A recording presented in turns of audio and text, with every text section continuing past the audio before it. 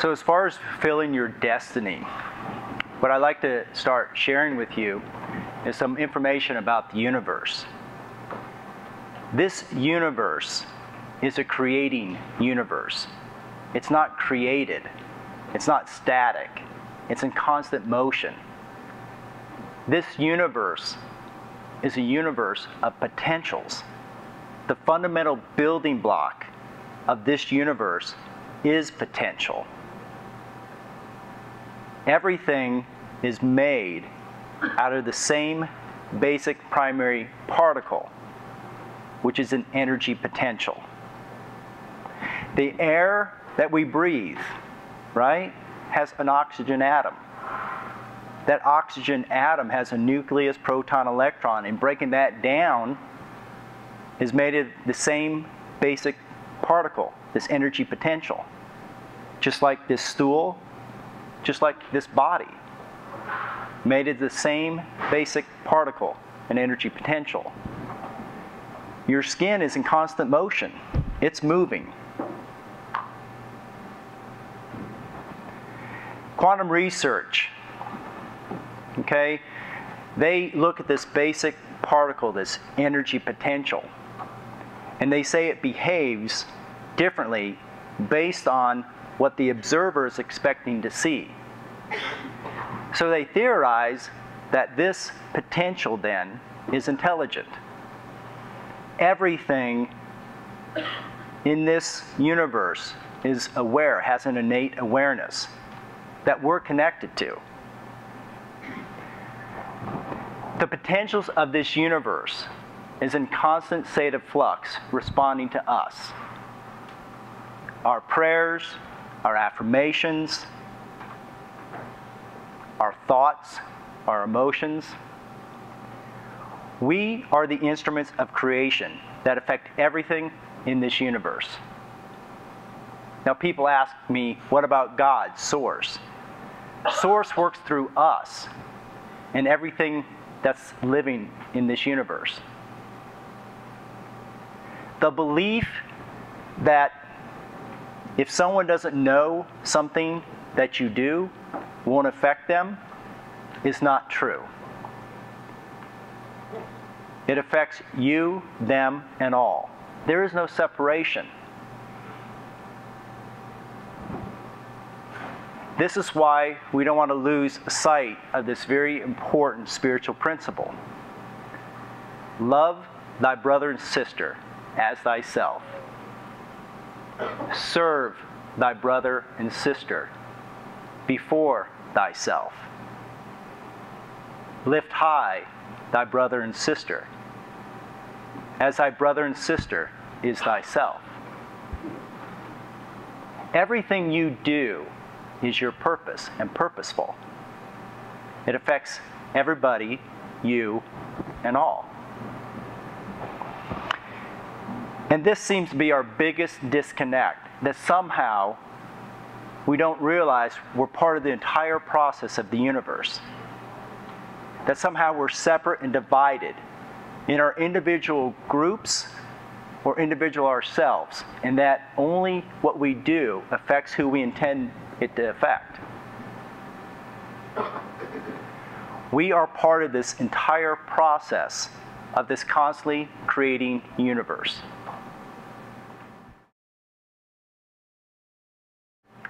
Now, it is safe to say that you did not come here just to have one purpose or one experiences, right? But to have many experiences, right?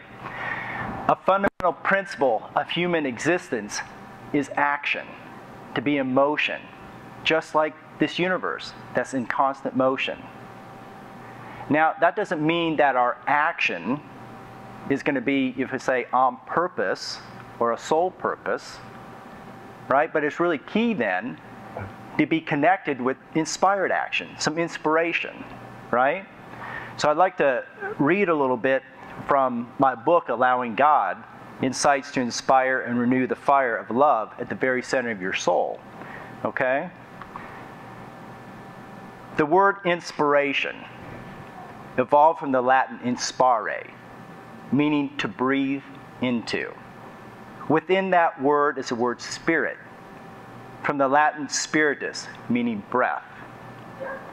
This root meaning hints a lot of things. One way I relate to inspiration is the willingness to be breathed into. Whatever the source of inspiration, whether spiritual or of the earth, whether the wisdom of our body or the vast landscape of our unconscious, or all of the above, which I suspect is usually the case. Inspiration means being receptive, right? Being receptive to a little curiosity that we have to follow, or the insight inside, or a voice, or something that kind of nudges us to go to the next place. That's inspired action. Now, I'd like to share something that an ascended master shared with us. He said the all encompassing purpose of life is finding God. Finding God in yourself, your talents, your sacred labor, and endowing anything you can do with God's Spirit. Now, to me, that means living your beingness, your unique expression of the divine. And sharing from that space as many times as you possibly can with the intention of that service.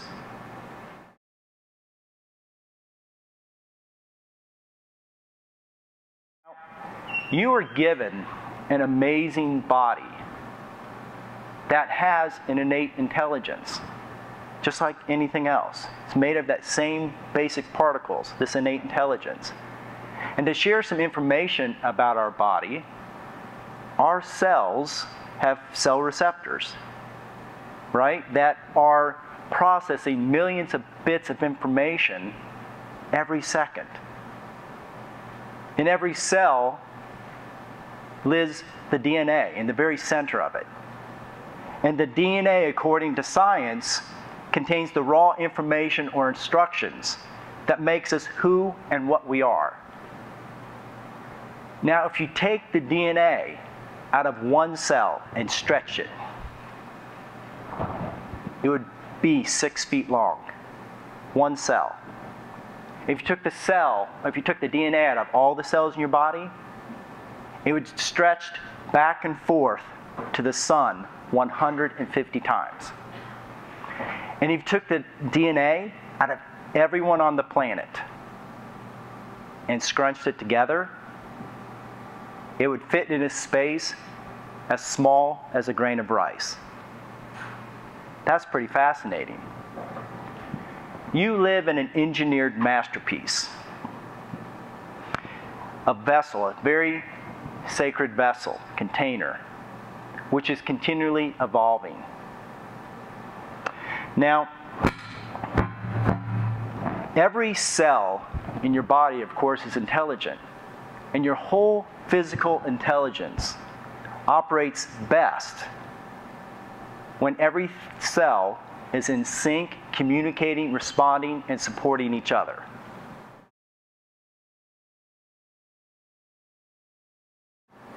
To give you a story, I was at an expo where at the expo I was promoting delete stress and pain on the spot. So uh, as I sat behind my table, someone approached me. Her name was Judy, and she was a yoga instructor and an Ayurvedic practitioner.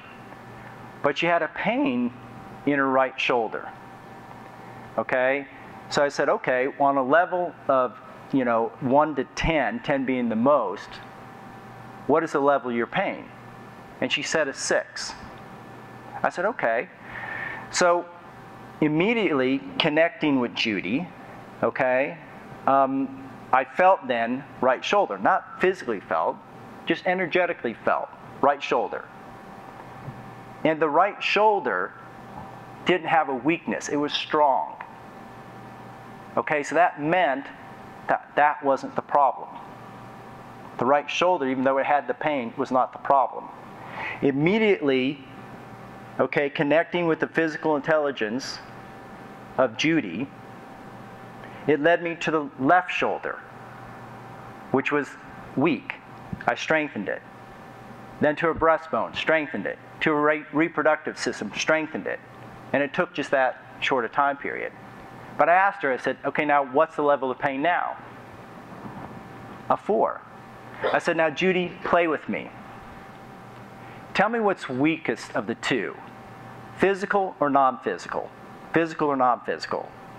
She said, non physical. Okay.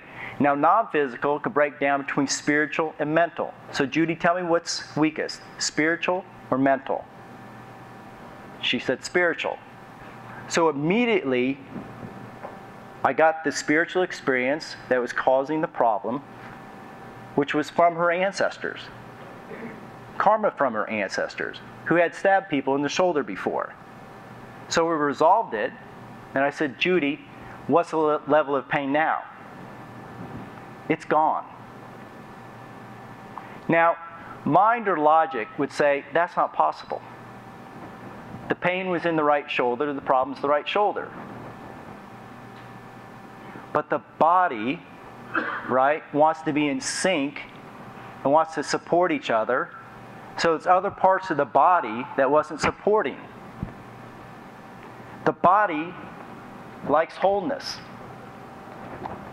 Just like this universe likes wholeness.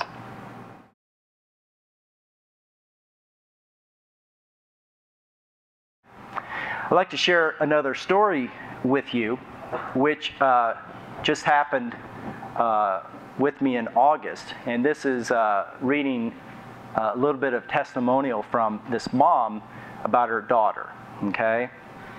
So, as a wife and mother of three children, all I want for my family is health, happiness, and prosperity.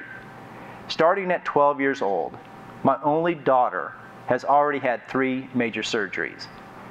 She has ovarian cysts and endometriosis. I always worry about her immune system.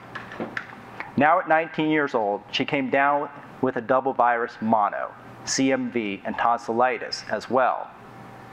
She was hospitalized on Monday for many reasons. Monday, okay? Her liver enzymes were high, her throat was closed, very infected, and she had a fever. Enlarged lymph nodes in her neck, ear pain, a headache, and she was drooling because she could not swallow. She was on an IV and had antibiotics and morphine for pain. She continued to thrash and cry in pain. The doctors told me she'll be in the hospital for a few weeks. I was also told her tonsils will have to come out once the virus passes. It was torture for me to watch my child in such pain. Now, a friend of hers, and also a friend of mine, referred her to me. I talked to her then on Tuesday afternoon. It's like 2 at 2:30. I'm on the phone with her. She's standing next to her daughter in bed, and I could hear her daughter thrashing in pain and moaning. So, just with the mom on the phone, started doing the work for an hour. By the end, she wasn't thrashing anymore. There was still pain, but she wasn't thrashing. I said, I'll call you back later. I got a lot of things going on here tonight. Call you tonight. Call like 10 o'clock that night. And she says, We got released from the hospital. Now, it was mainly because insurance purposes. But no matter what, she said, My daughter's sleeping. She hasn't slept for a week. Okay? Let me share some more. Now, okay, I worked with her then on Wednesday for half an hour and then Thursday. Just work, talk to her mom. Okay? Hospital Monday, Tuesday, Wednesday, a little bit of work. Come Friday. By Friday, she had her ear, nose, throat appointment. I watched the doctor closely as he looked in her throat I saw the look of confusion and amazement as he announced, Her tonsils are back to normal. It looks as if they were never infected before. He also proceeded to say she may not need her tonsils out after all. When we left the doctor's office, my daughter said to me, Mom, it's like I was never so sick. Now, I share this with you so you know also the potentials that are there, that do exist. Now, what I did was I followed the weaknesses. Okay, and there was a bunch of spiritual experience, a bunch of soul contracts from the ancestors, descendants, and family lines had to be resolved. But then from there, I started strengthening her central nervous system. I started reconnecting all the way down to quantum particles, atoms, molecules, cells, back to being in sync within her body. So then things can actually function. They can communicate. Right?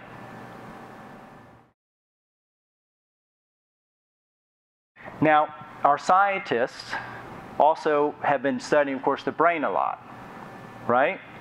And they say that the brain physically and chemically changes with every new thought, every new experience, every new dreaming and imagining you have. Now, why is that important? Well, because neuroscience says that your environment, your universe, is a reflection of your brain wiring, your neural networks. Okay, but here again, science is separating things out and saying the brain is the important thing. Well, what about your heart? Right? I mean, your heart is 65% neural cells, brain cells. I don't want to separate anything out. It's all important. This whole physical intelligence is important. Now, your imagination, of course, is important, right? Because it can be a tool to use to bring forward and fulfill your destiny, right? And that's a good thing. It could change your wiring. It could change your physical intelligence and how it's operating. Now, um, a lot of you may be aware of Abraham Hicks. But Abraham Hicks talks a lot about manifesting, right? And when asked, what do you do if you want a different reality? Abraham Hicks said, you conjure a vibration separate or apart from your current reality. Okay? Apart. Conjure vibration apart from your current reality. So, how do you do that? You connect with something you wish to experience, right? Now, instead of just being here and connecting with it, I want you to do something that's more active, using the whole physical intelligence and imagination and awareness. I want you to actually physically step into the consciousness of something that you wish to experience. Okay? So let's play with an example of being a chief executive officer of a national company. Okay? So if I went ahead and stepped into that, right, and this you can step into any desire you want. But if I stepped into that, being a CEO, right, what does this look like? So with my awareness and my imagination, stepping into that consciousness, right? Hmm. Hmm. What does it start feeling like? Well, confidence is here, right? Courage, a sense of pride. I'm standing taller. Hmm. I feel a sense of strength for being a leader, compassion, right? Now, from this place, this is really key. From this place, I want you to step into what I call a related experience a related experience. So I'm going to step into a related experience of having this experience or being able to experience this. So, in this related experience, right, let's say um, a related experience, okay. Hmm. On a beach, right? A white sandy beach. Beautiful, calm blue water. A sense hmm, of expansion and freedom. Now, from here, step into another related experience. And what does that seem like with your awareness and imagination pulling that in, in that consciousness? So here, I'm with, uh, gosh, my family. And my children, hmm, they're experiencing these amazing, majestic sight that I'm able to bring to them. And my wife is looking at me with such appreciation for what we've been able to create.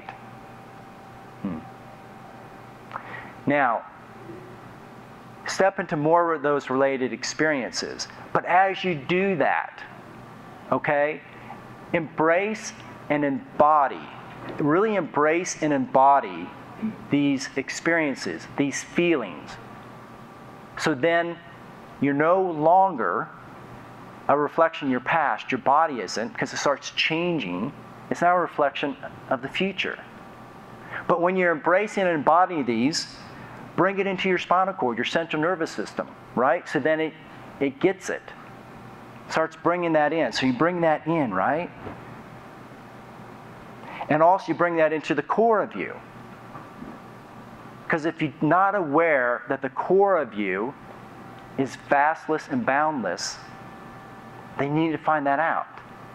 But bring it in here too, right? Now, why are you doing this? Your creator beings in a universe that is constantly creating. You're creating now, sitting there. So step in with awareness and imagination and connect with different experiences that you wish to experience. Right? Now, here's a really important point. You don't want to keep it, if you want to say, in fantasy. You want to then take inspired action. So now we're really connecting with our insight, inspiration, things coming in, because we're here creating, right? We're starting to embody something different we want to bring in. So that means we need to take the inspired action to make it happen. Dance with this creation that's starting to be created, right? Now, here is something else I wish for you to do. I want you to pull the feelings of the related experiences in. So, in this related experience, expansion and freedom, appreciation. So, come back to the current reality, right? And start connecting. Hmm. And ask. Please give me more experiences in my life of expansion and freedom, of appreciation. Hmm.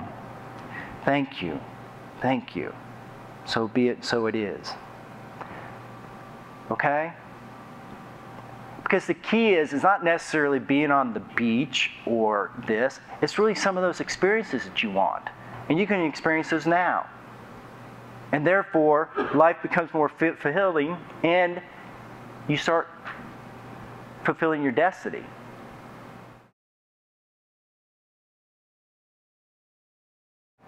Let's talk about the barriers of what I demonstrated, or any time you try to bring something different in your life. Your body is going to feel uncomfortable because it's trying to break the wiring of the electrical and chemical bonds of where it's currently at. You're going to feel uncomfortable. It's okay. Right? And this is why in the Yuen method we like to strengthen the central nervous system so we're able to process through things better and faster. Okay, less resistances. Now, another barrier is your subconscious, right? If there's pain associated with something, a desire that you want, an experience you want, your subconscious not going to give it to you.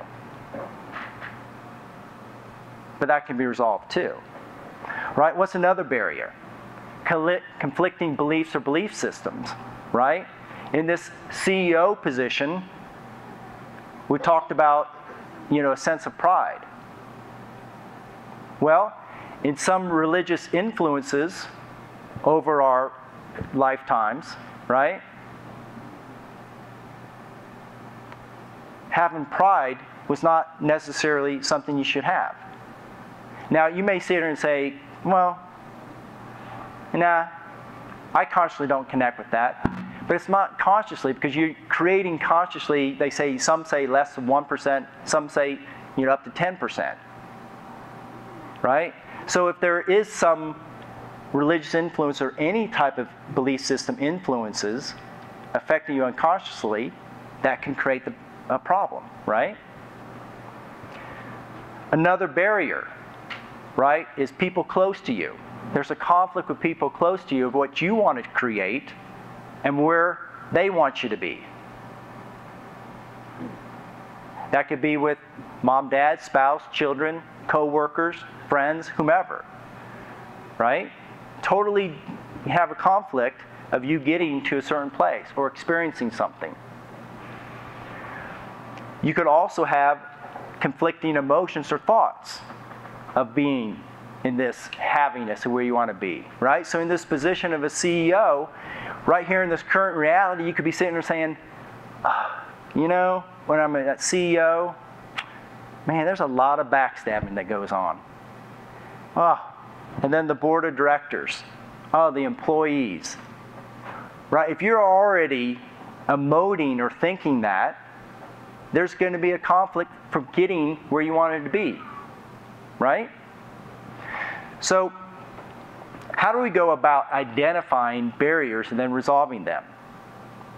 With you know, Judy's case of the right shoulder, okay, I just energetically felt, is there a problem here?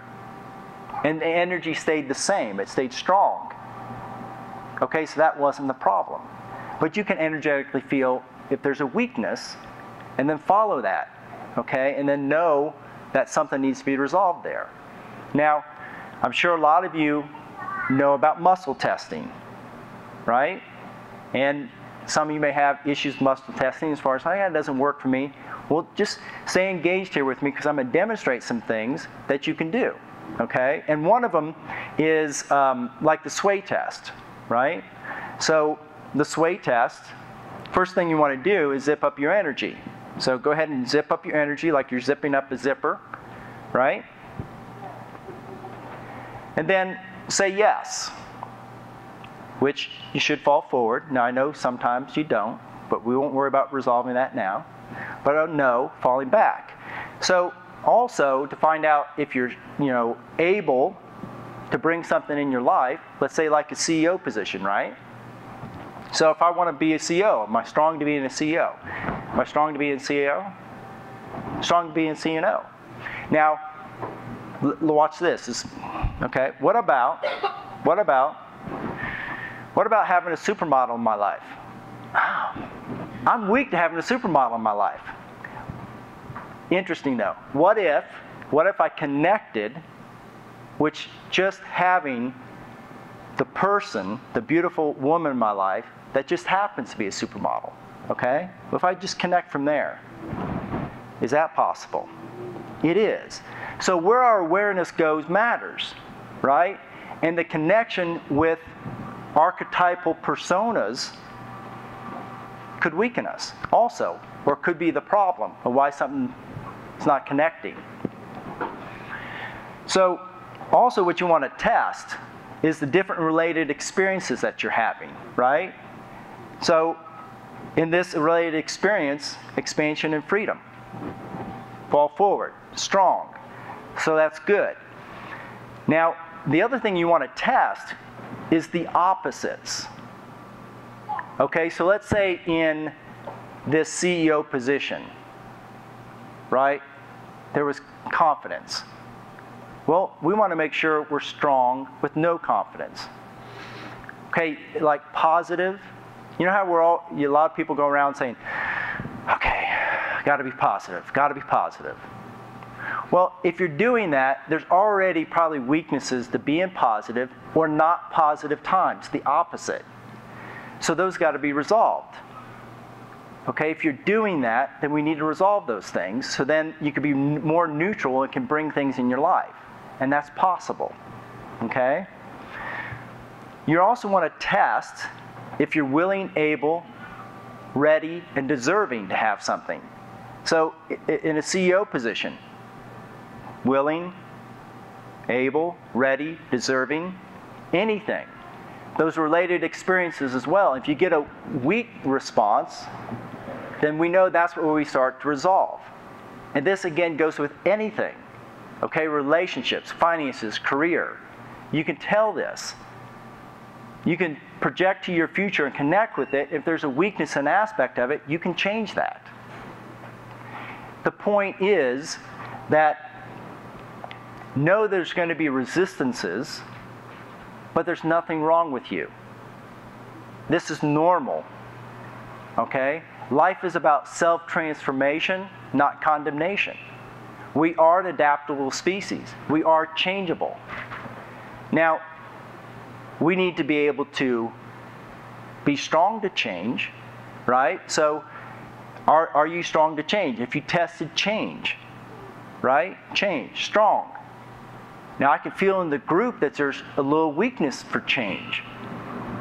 And if you're willing to change, you could have trouble bringing something in your life, right? So, before we're done, I'll help try to change some of that for you.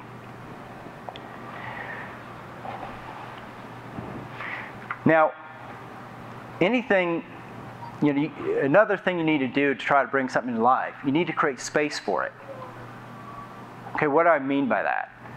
Okay, so if we look at, I, I work with, you know, a lot of different women, and sometimes they say, well, I'd love to have a new boyfriend in my life.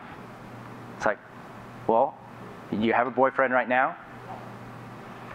Okay, well, it, there's a, an issue here potentially, right?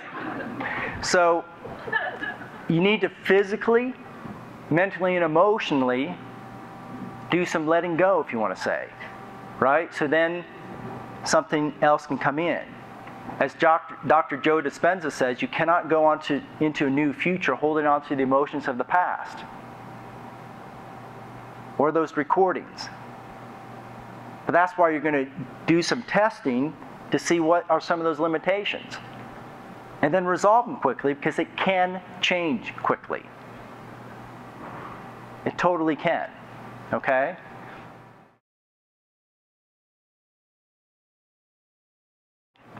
Also, want to talk about how we experience our experiences.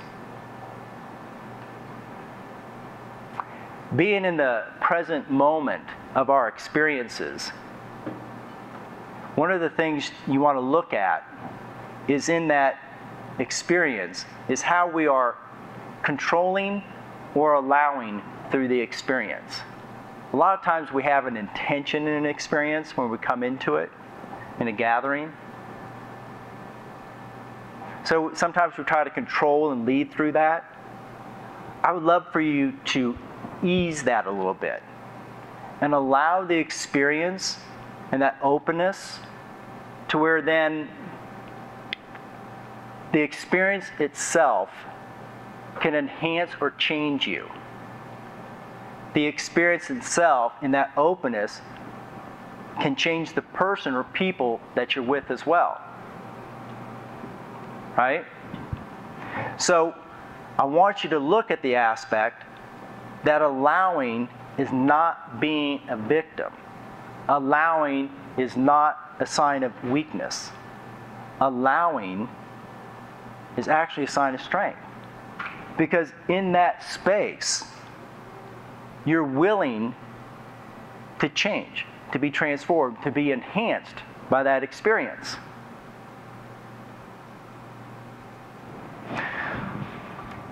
Now, you put a big prayer out in life to have certain things in your life. Don't discount that God or your soul put you in certain experiences to transform you. So when you're in an experience, don't put up the boundaries. It's like, ah, uh, you know, you're not fully there then. right? I know sometimes we look at um, love coming in our life. It's like, oh, you need to be careful. You know, you can get hurt. Well, if that's already there, the hurt was already present, right? So that needs to be transformed in the first place. Now, I know some of you are going to argue with me about the boundary thing. That's okay. Because guess what? to be that CEO or anything that you wish to desire to experience or to have in your life, but to be that CEO, that person just didn't go to an Ivy League school and then get that position. They had to go through experiences to build their character, their abilities to have, to be in this place. Right? So don't discount that that's not happening to you. If you're in an experience that's not so pleasant to you, in this experiencing that, that you're sharing, feel what's present here for you. Right? Don't judge, criticize, or blame someone or the situation because it's your experience. See what needs to transform in it. Okay? Because as we know, two people can be sharing in the experience differently, right? I mean, one person's like saying, Yeah, this is good stuff, right? And the other person's over here saying,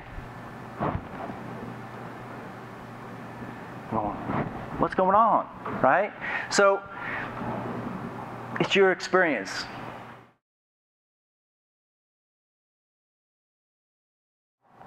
What I like to share with you is in fulfilling your destiny, you have to show up in the experience. Right? Showing up is so important. And a tool that I like to use to assist people to show up is this. Okay? Do this. I am here. I am here. Here I am. Here I am. And from this place, share you. Because you will learn a lot about yourself. Right? And from this place, then you affect people better because you're in that presence. And I know we all love to talk about the law of attraction, right? The law of attraction out in the universe, like, you know, all these other laws out in the universe. Guess what? All these laws, you're right in the center of them. You're right in the center of every law in this universe. This is where you need to operate from.